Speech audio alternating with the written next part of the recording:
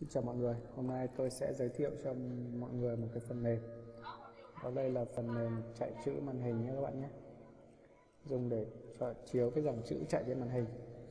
Đây là cái phiên bản chạy trên à, các, hệ điều hành Windows uh, XP 789, 7810 cái thứ. Hoàn toàn chạy được hết nhé. Yêu cầu là Net Framework 3.5 đây các bạn nhìn thấy này. Ở đây nó có hàng chữ để chạy này. Đó. hàng chữ chạy. Và ở, ở cái phiên bản này thì nó cho nó cho phép chúng ta chạy hai bảng chữ nhé đây cái bảng này nó chạy một lúc sau nó sẽ mất cái phần viền đi. Nó chỉ còn như thế này thôi. Và nó sẽ nổi lên à, trên tất cả nhé các bạn hoàn toàn có thể à, điều chỉnh cái màu nền cho nó này. Cỡ chữ này.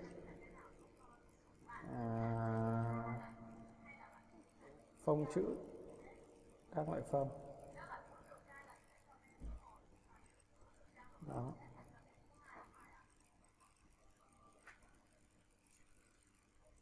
Xong là tùy mỗi người dùng cái phông nào thì chúng ta sẽ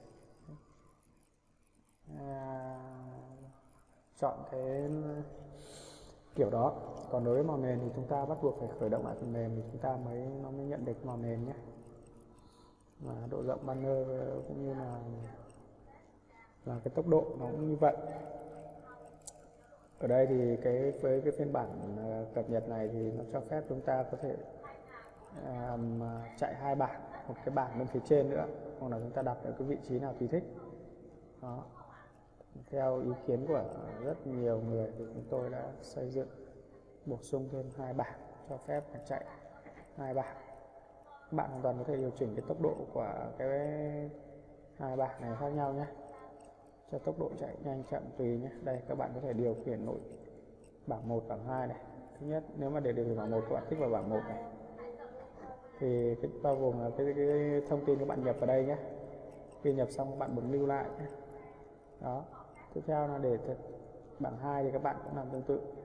Đấy thì chúng ta cũng sẽ lưu lại. Và mỗi một cái thì nó sẽ chúng ta có thể điều chỉnh cái cái cái phần uh, phông này cũng chữ giống như cái bảng một đó.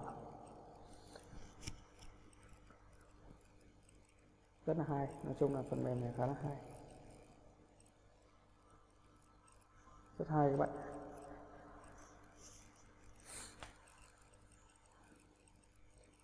Vậy tôi đã giới thiệu cho các bạn xong cái phần mềm à, chữ chạy màn hình headline. Các bạn có thể tải về để sử dụng. Ở phía dưới, tôi sẽ để phần à, một dưới, phần mô tả video. Các bạn nhớ đăng ký kênh để cập nhật những thông tin mới nhất. Bye bye.